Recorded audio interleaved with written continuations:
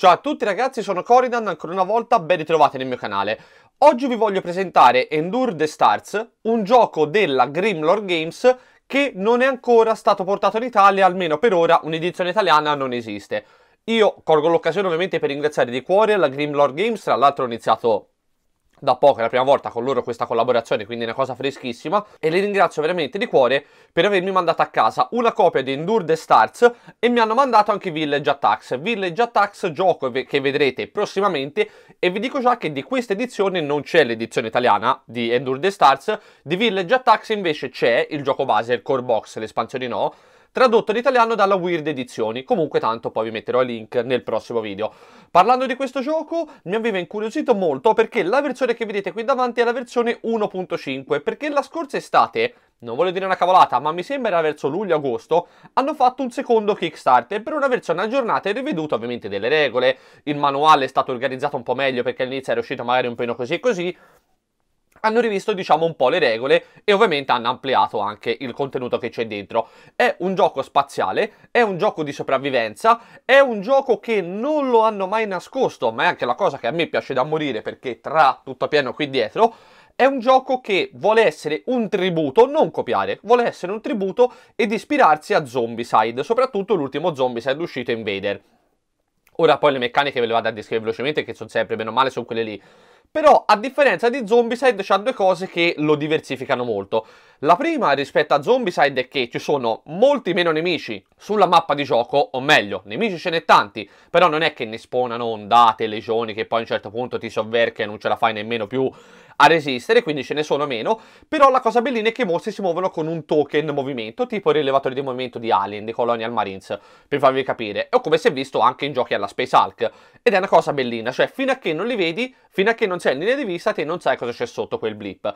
E poi un'altra cosa molto interessante di questo gioco che gli dà, secondo me, un contenuto molto più survival, che è più difficile trovare il giusto equipaggiamento, magari le cure, kit di sopravvivenza e cose del genere, e poi c'è un dado che va tirato sempre ogni volta che si fa un attacco, o in corpo a corpo o un attacco a distanza, perché l'arma si potrebbe gemmare, quindi si potrebbe rompere. Potrebbe andare in gemming un'arma da fuoco, ma anche rompersi direttamente un'arma da corpo a corpo. Ed è una cosa interessante perché magari lì per lì non te l'aspetti, ti si rompe l'arma e sei un attimino nella cacchetta. L'ambientazione del gioco ci vede come equipaggio di una nave a lunga esplorazione, quindi a lungo raggio, la Ikari, che è una nave, eh, vedetela un po' come la Covenant di Alien, che va ad esplorare eh, lo spazio, ovviamente l'universo, alla ricerca di nuovi mondi terraformabili e abitabili. E eh, questo eh, pianeta, insomma, è stato trovato, però hanno fatto degli esperimenti di laboratorio a bordo delle Ikari, gli scienziati, perché è una nave colonia, tipo la, la Ishimura, immaginatevi una cosa immensa, o appunto la Covenant, dove hanno creato una razza di alieni, tra molte virgolette, comunque creata in laboratorio, con le giuste caratteristiche fisiche per provarli a buttarli su questo pianeta o sui pianeti, magari che ne so, ad alta gravità e cose del genere, e vedere se su un pianeta del genere potrebbero resistere ed adattarsi prima ovviamente di mandarci l'essere umano, che sono tutti quanti in criostasi. Però ovviamente questa specie creata in laboratorio, che li chiama alieni ma non so dalla fin fine, si sono risvegliati e hanno preso il possesso della nave. E ora immaginatevi che il gioco è tutto quanto ambientato a bordo delle cari, dove voi sarete un gruppo di sopravvissuti che dovranno proprio sopravvivere da questa nave completamente infestata da questi mostri. Ricorda anche un po' il film Pandorum, che tra l'altro vi consiglio, è un'americanata ed è un filmettino, eh? Però come film di serie B, anche C, interessante. Gioco da 1 a 6 giocatori, età 14 o più, secondo me si può anche abbassare tranquillamente di un anno o due, durata dai 30 ai 180, 30 e poi 30 minuti non ce la fai a fare una partita del genere, anche perché le mappe sono belle grandi, 180 sì, ci può andare come tempo, ed è veramente un titolo molto interessante, come vi ho detto nella versione 1.5. Unboxing, scatolona immensa, piena zeppa di roba, bella grande, guardate rispetto alla mano, ma oltre ad essere grande anche bella profonda, perché ovviamente dentro è piena zeppa di miniature, insomma contenuti c'ha veramente tanta tanta tanta roba. Ci sono già anche le espansioni eh, di questo gioco, più che altro altri tipi di personaggi, mostri e cose del genere, e vedete anche il disegno che c'è sopra, molto bello, evocativo, l'ambientazione poi ricorda sempre un po' Alien, Nemesis o comunque qualcosa del genere. Apriamo. Regolamento, vedete, versione 1.5, ovviamente in inglese perché gioco in inglese, di 50 pagine, ma non vi mettete paura perché se non, a parte pieno zeppo di esempi, bello colorato, quindi di facilissima lettura, il regolamento è di 21-22 pagine, Tutto il resto sono regole opzionali per renderlo ancora più difficile e poi tutte quante il setup delle missioni, che ce n'è veramente tante. Quindi quando l'ho aperto ho detto no, mi dica che questo sono dei regolamenti pompati e tutto. Ragazzi, è Zombicide con qualche pagina in più, quindi è veramente semplicissimo. Una paccata di miniature ce n'è veramente tantissime, sono belle, di plastica ovviamente, non sono di resina, e di altissima qualità. Vi faccio vedere ad esempio un personaggio, cioè ragazzi guardate bellissimo, questo è il Marine, perché anche qui c'è ovviamente il capitano della nave, c'è magari l'ingegnere, c'è il medico, lo scienziato, e questo è il Marine, guardate la qualità, bellissimo, bellissimo, mi calma veramente da morire. Per poi prendere un paio di mostri, come vi ho detto, creati appunto dall'equipaggio delle Ikari direttamente al laboratorio, e la qualità ragazzi è veramente bella, bella, bella, ecco alle miniature sicuramente do un voto altissimo perché hanno avuto un'attenzione ai dettagli e tutto quanto. Non è tanto il fatto della bellezza della miniatura in sé per sé quanto ci aggiungono veramente tanti dettagli e ci stanno veramente attenti, è bella. E un altro mostro, tanto per farvene vedere un altro, guardate il dettaglio, la qualità, anche questi sono curioso di vederli veramente dipinti. Ci sono altre miniature sotto, ovviamente, quelle più grandi. Qui vedete un exosuit che è ispirato ovviamente a quella di Aliens, il Power Loader, guardate bello L'alza carichi, ovviamente questo qui è in versione da combattimento, bellissimo. E poi ovviamente mostri di dimensioni già più grandi, tipo questo qui, addirittura con le ali che può volare, sono veramente veramente belli. Planche dei personaggi. Dado rosso, ferite critiche, perché in questo gioco oltre a subire ferite potrete subire anche delle ferite critiche che vanno a menomare il personaggio, e dado direzione, per vedere verso che direzione si sposteranno i mostri standi in plastica dove mettere le porte, ovviamente pedine colorate per i personaggi, e poi ci sono un milione di token vari, tipo token suono, perché anche questo gioco come Zombicide eh, ha il livello di suono dove verso cui si spostano mostri, token delle porte, come vi ho detto, da mettere sugli stendi, e tabelloni di gioco che sono ragazzi disegnati e colorati da paura. Questi poi belli spessi e resistenti, questi sicuramente sono fra i più belli che abbia mai visto in un gioco del genere, ovviamente un dungeon crawler, però questo ha leggermente più contenuto survival rispetto a uno zombicide. Due mazzi di carte, all'interno ci sono ovviamente carte equipaggiamento, carte evento e tutto quello di cui avete bisogno per giocare.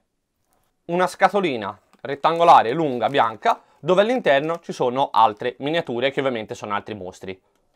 Vi faccio vedere un po' come gira un turno facendovi vedere la plancia di ciascun personaggio, vedete è molto semplice anche da leggere, ha poche scritte ed è nel classico stile zombicide. Comunque, cursore che dovete attaccare con i pirulini che vi ho fatto vedere durante l'unboxing, sotto, quindi la terrà sempre un pochino rialzata, indicatore della vita, che a inizio avventura parte da 10, indicatore del resolve, che praticamente il resolve è tipo la risolutezza o comunque i, i, nervi freddi del vostro personaggio, perché in questo gioco c'è anche la possibilità che il vostro personaggio, insomma, con quello che dovrà andare a affrontare, si metterà paura ed impazzisca, che è una meccanica survival in più, che vi dicevo rispetto a Zombicide. Poi nella scheda abbiamo lo slot per il corpo, ovviamente solo armature, lo slot per le munizioni, le munizioni sono una cosa importante nel gioco, uguale spiccicata a Zombicide, che vi danno dei bonus in più all'arma. Comunque le ammo, quando le usate, cioè quando le mettete nel, nello slot ammo, che voi le utilizziate oppure no, comunque durano un turno. È una cosa un po' strana, però funziona così. Cioè, anche se non le avete sparate, a fine turno le dovete togliere dopo la fase dei mostri. Arma, che in questo gioco abbiamo i valori qui sotto elencati che sono la gittata, in questo caso il fucile impulso comunque d'assalto tira a distanza 0, quindi corpo a corpo o 2, poi tira 4 dadi, colpisce con un 4 più e l'ultimo in fondo a differenza di Zombicide in questo gioco tutte le armi fanno un danno. Tutte, dalla A alla Z, contano soltanto i numeri di colpi che vanno a segno. Comunque, ciascun colpo, dado che andrà a segno, farà sempre una ferita.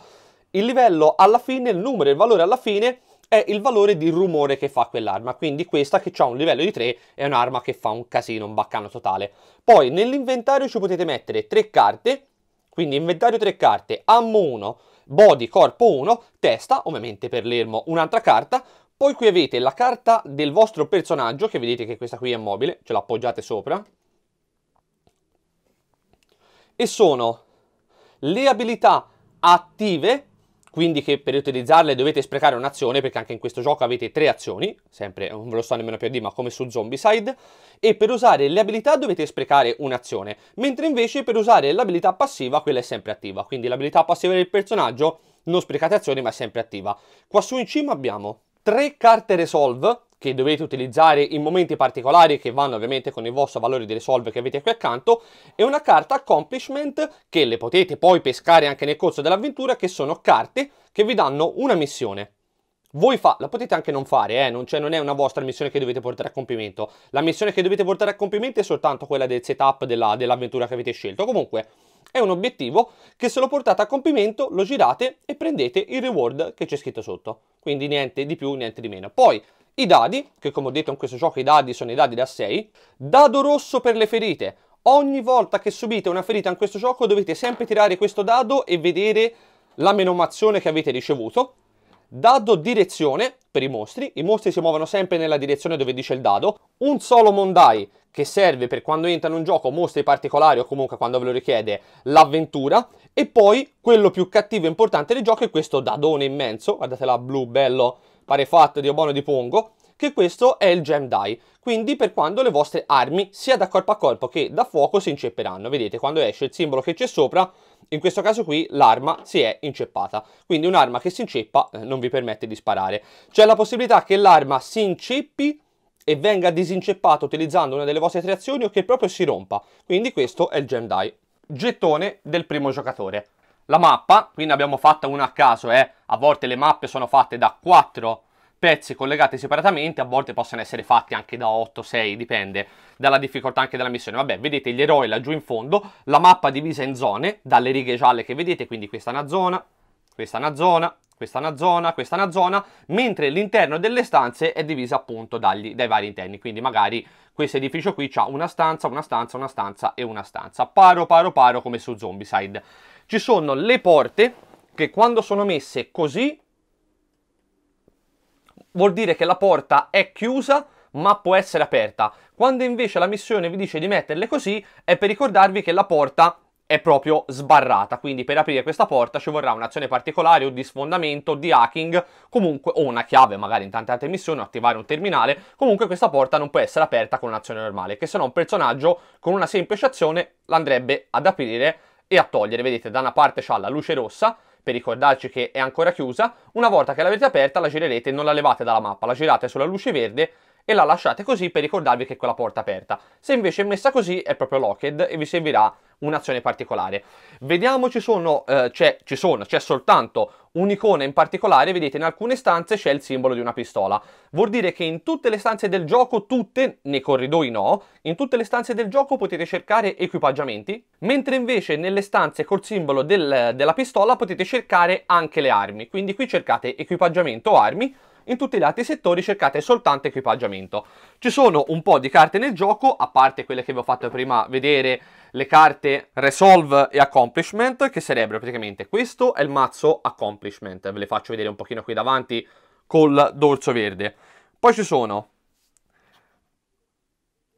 le carte di riferimento per i mostri, però anche a fine manuale c'è eh, una tabella che ve li fa vedere, quindi ci sono tutti quanti i mostri, perché anche il mostro attacca a un valore di attacco, attacca a distanza, attacca in corpo a corpo, eh, gittate, il tipo di danno che fa e cose del genere. Poi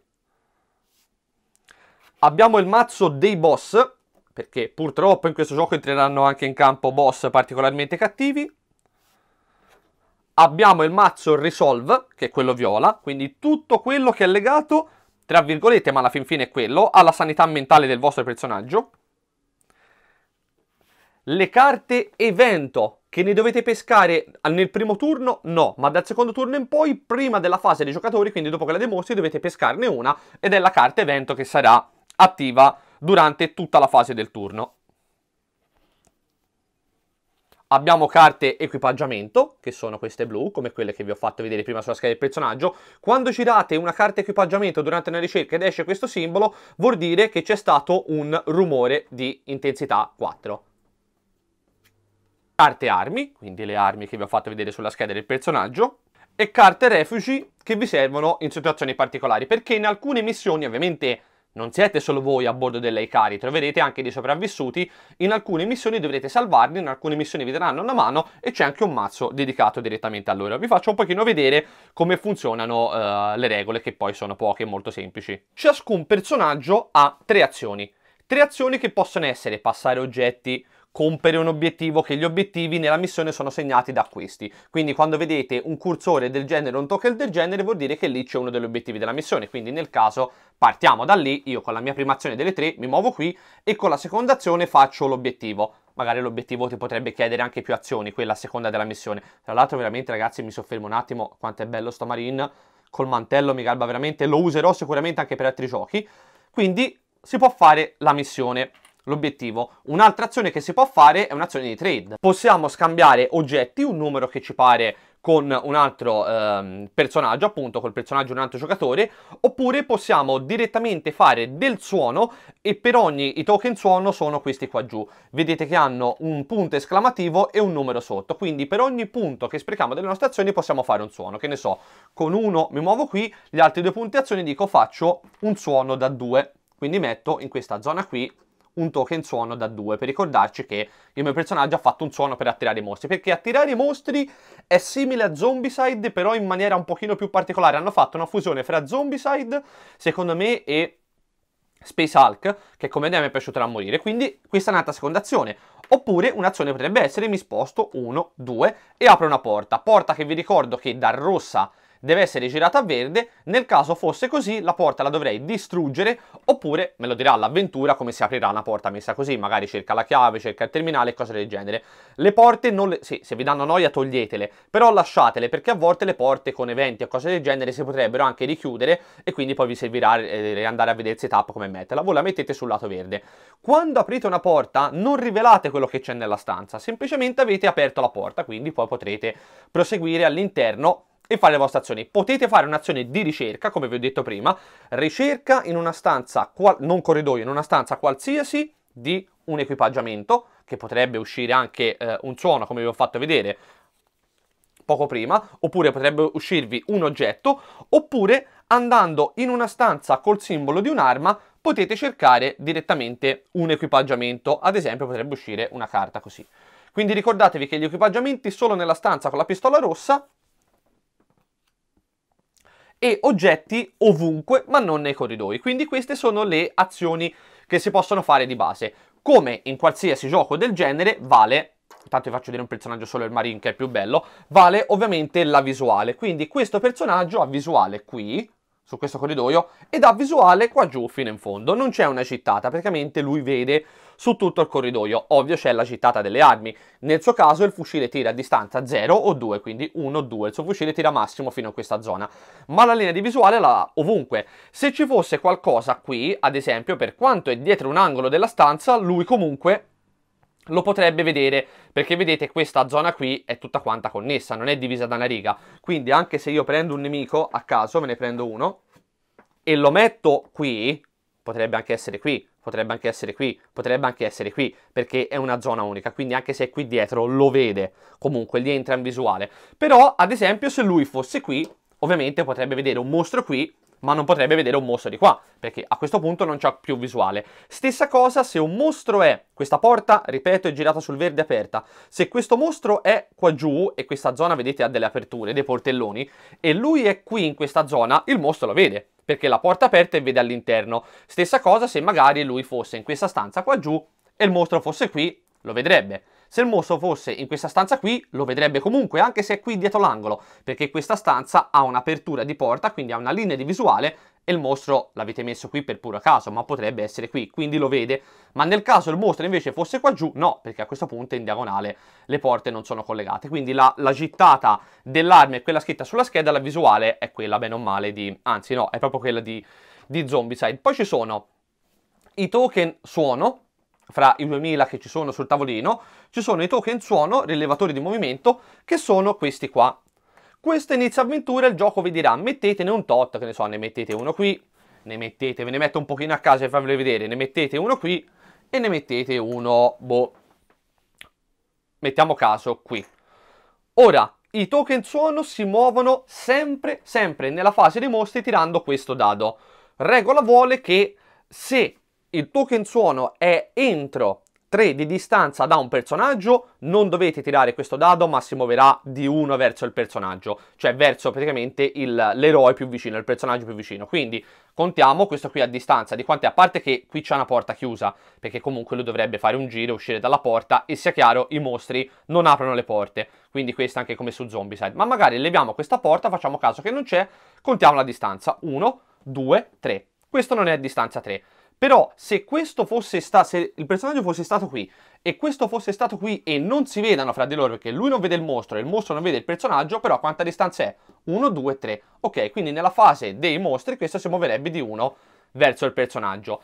Nel caso invece se è a distanza 3 o più, eh ragazzi, quindi 1, 2, 3. Se è a distanza 4 si muove verso di lui, se è a distanza 5 si muove verso di lui, ma se è entro e sotto i 3, quindi se è già a 3 di distanza dal personaggio, quindi 1, 2, 3, nel turno successivo, come ho detto, si muove. Nel caso fosse invece sotto eh, le 3 unità di distanza, quindi 1, 2, non si rimuove più verso di lui, ma dovete tirare questo dado. Tirando questo dado, vedete la freccia verso dove indica, in questo caso si muove verso di qua. Ed entrando in visuale si rivela.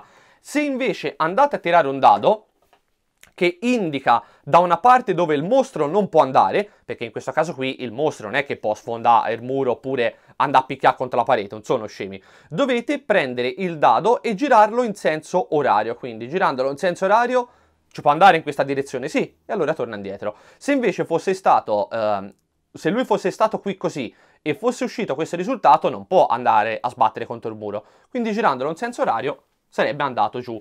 Una volta che il mostro ti entra in linea di visuale dovete girare questo token, vedere il numero di mostri che ci sono e mettete i mostri che sono venuti fuori. Quindi in questo caso rivelati tre swarmer, questo lo togliete, mettetelo da parte e fate uscire i mostri perché come si entra in linea di visuale i mostri vengono spawnati. Quando i mostri sono token suono rilevatore di movimento fanno una sola azione per turno. Una volta che invece sono rivelati possono fare tutte quante le loro azioni. Però tra il turno in cui vengono, nello stesso turno in cui vengono rivelati non possono compiere le loro azioni, sono semplicemente stati scoperti nella di visuale. Quindi questa è la regola dei token suono. Quando sono a 3 o oltre dovete muoverli eh, di uno verso l'eroe più vicino. Quando sono sotto i 3, quindi a 2 1 di distanza, dovete sempre tirare il dado. E questa è una cosa che sinceramente ho preferito a Zombicide perché se qui ho dei mostri, in questo caso vabbè un token suono che ancora non vedo, per forza di cose faccio la conta di turni e faccio ragazzi però questo fra due turni ma arriva corpo a corpo, quindi prima l'ammazzo meglio è.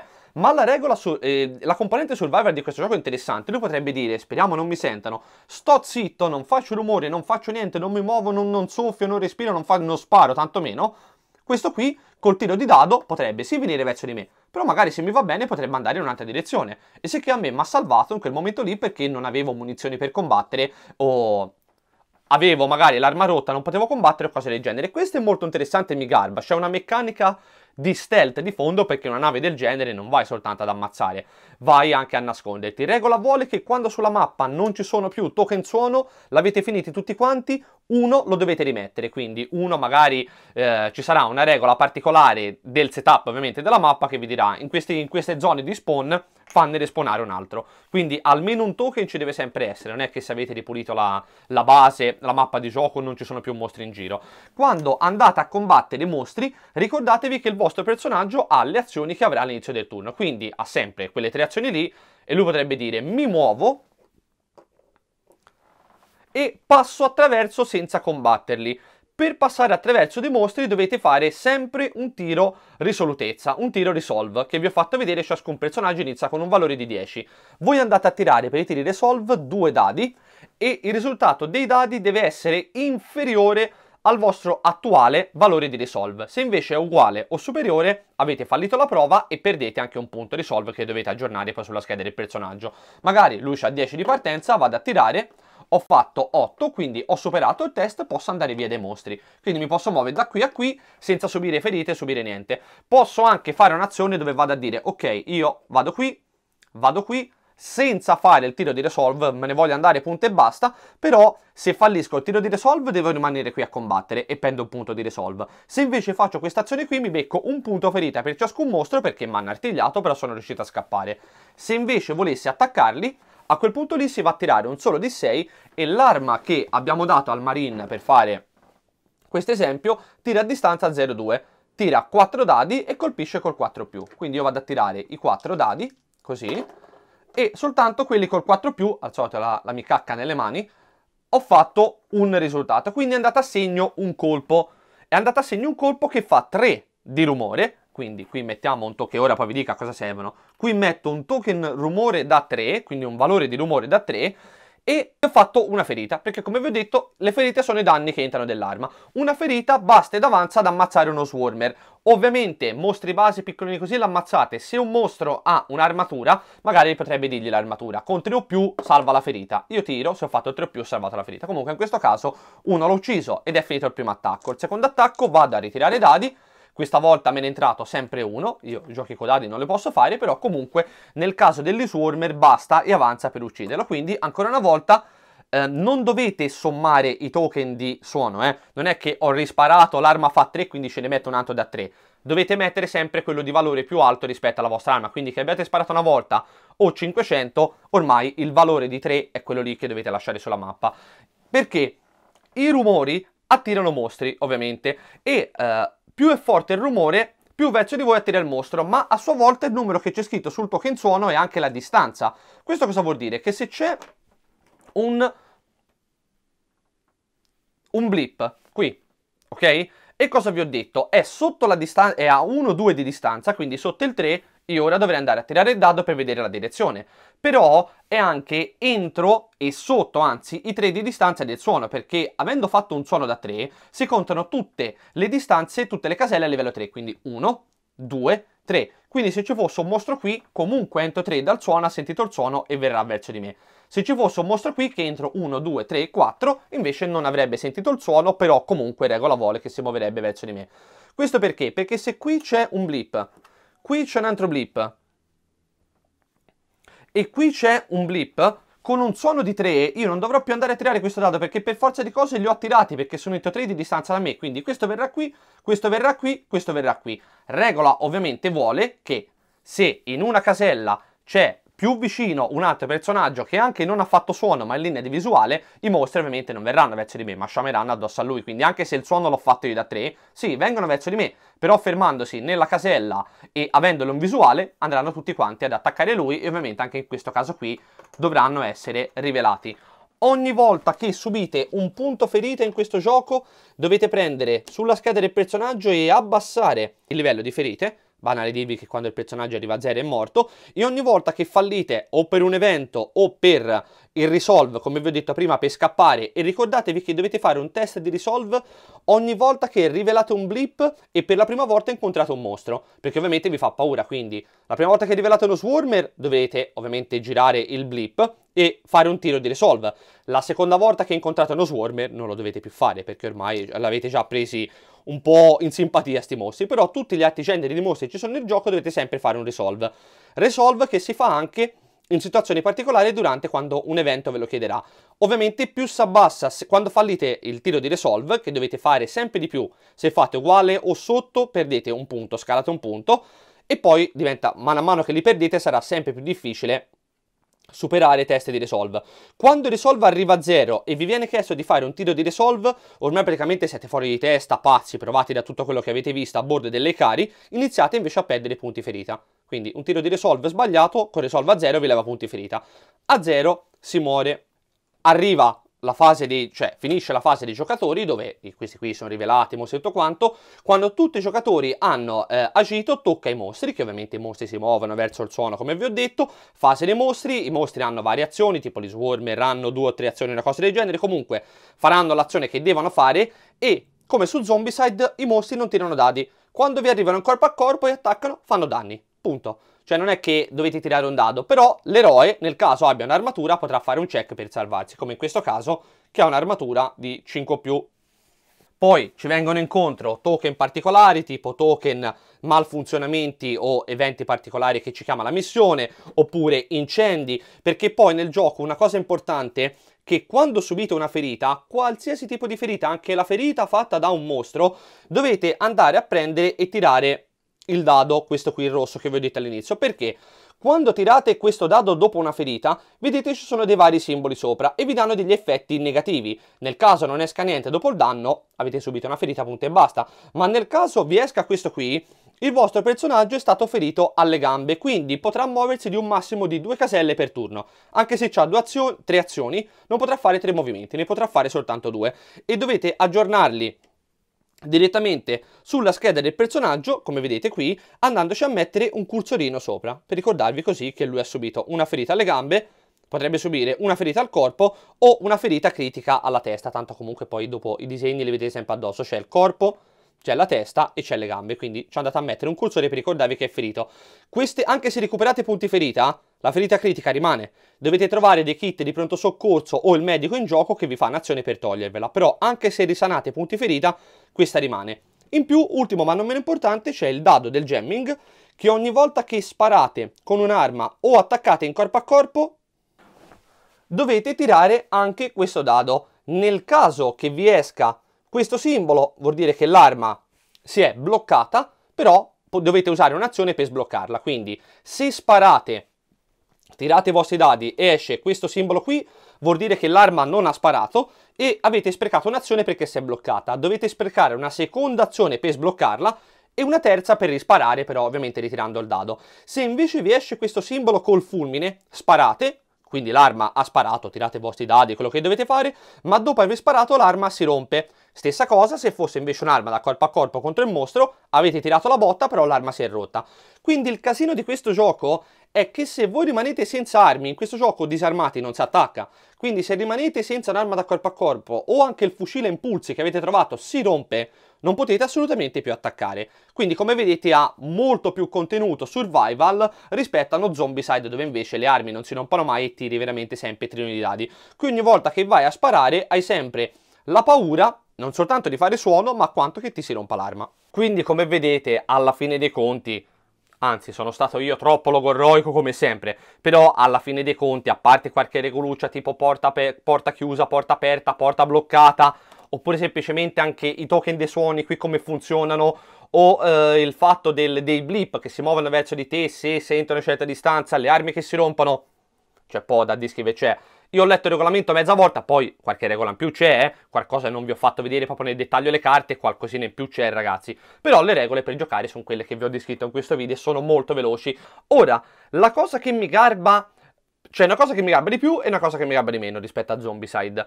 La cosa che partiamo da quella che mi garba di più è che è uno Zombicide Plus, cioè ha delle regole survival che sono veramente, veramente, veramente carine. Non hai la paura di aprire una porta e trovarti 50.000 zombie in quella stanza che ti stavano aspettando, che è una cosa mi mette un po' d'ansia, sinceramente, che ti, ti può anche andare a scombussolare delle tattiche un piano, però mi piace da morire il fatto dello stealth. Io sto dietro un angolo, mi ci immagino il mio marine con l'arma rotta, magari se mi beccano sono morto dietro l'angolo, speriamo che il blip non venga verso di me, speriamo tiro il dado e il blip vada da un'altra parte. E poi anche questa meccanica qui del blip che viene rivelato quando entra in linea di visuale, quindi proprio spiccicato spiccicata Space Hulk, mi calma da morire perché è l'idea di loro che si aggirano per la nave col rilevatore di movimento e non sai se c'è qualcosa davanti a te, ma soprattutto non sai, magari l'hai visti, ma non sai quanti sono. Ti dà un pochino più di strizza, perché in Zombicide lo vedi la, la, il fiume di mostri, di zombie o d'alieni che ti vengono incontro, te li conti e fai, eh oh, sono quello più vicino, prossimo turno mi vengono addosso, sono morto. Cioè, in Zombicide te vedi nel futuro, lo sa quando sei morto. Perché te sei, il tuo personaggio è qui. E qui c'è una marea di zombie che sono tutti vivi. Magari ci sono anche 3-4 runner. Te già dal turno prima saluti i ragazzi e fai, ragazzi sono morto, quindi andate avanti voi nell'avventura che intanto sai che nel turno dopo verranno da te e ti ammazzano. Qui invece no, sì, ovvio, se ce l'hai tutti nelle vicinanze che ti vedono dove vuoi che vadano, verranno verso di te. Però fino a che usi un po' di tattica, stai nascosto dietro un angolo oppure sei dentro una stanza, non sei in linea diretta di visuale, il mostro potrebbe andare altrove. E questa è una cosa, ragazzi, che vi giuro mi garba 10 volte di più di Zombicide. È una regola molto interessante. Se non ti vedono, non sanno che ci sei, a meno che tu non abbia fatto rumore, sei zitto, magari vanno, cioè scuro, ti vengono conto e vanno oltre. La cosa che mi è, invece mi è piaciuta meno rispetto a Zombicide che le, le miniature dei mostri le vedo poco, mm, poco ispirate, mettiamole così. Bellissime, voto 10 alle miniature, però boh, mi ci stanno tanto, cioè nel senso sembrano mostri presi un po' da Gears of War, cose del genere, cioè questa è la storia della nave Ikari, che è una nave di esplorazione stanno creando questa razza evoluta per eh, provarli a fare andare a colonizzare un pianeta o vedere come resistono, però io avrei fatto qualcosa di più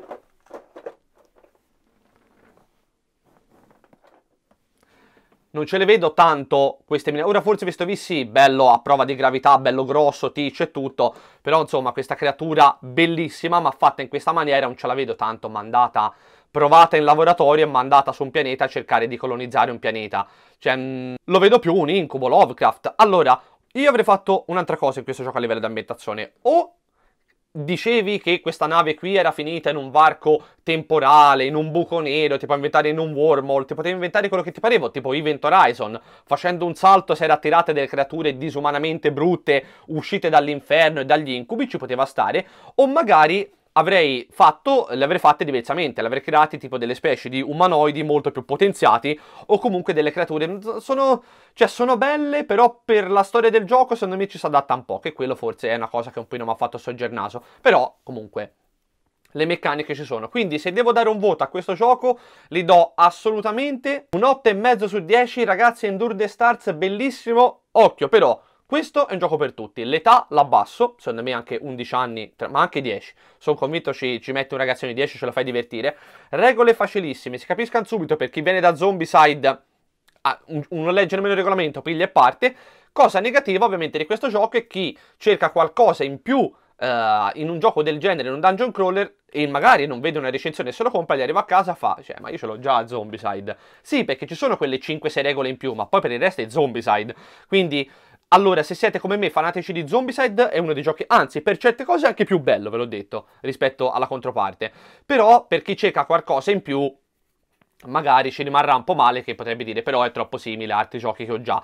Quindi sappiate che è un gioco molto ispirato, molto simile, che mette delle regole in più, però secondo me è una figata assurda perché ti ci mette una componente del tutto survival che in un altro gioco mancava, in un altro dungeon crawler del tipo mancava assolutamente. Quindi 8,5, passate appena i voti, ringrazio la Grimlord Games per avermi offerto una copia per la recensione. Ragazzi, non si trova in Italia, questo no, lo dovete ordinare da loro, però spero che qualcuno lo prenderà perché è bello. Ragazzi, è veramente un bel gioco e secondo me, per quanto l'inglese è molto semplice da leggere e tutto, però soprattutto in questo manuale ci vorrebbe un'edizione italiana. Primo link in descrizione dove acquistarlo, ringrazio ancora una volta di cuore la Grimlord Games, sperando che questa collaborazione possa durare e poi a seguire sotto tutti quanti i link dei nostri social. Ciao ragazzi, alla prossima!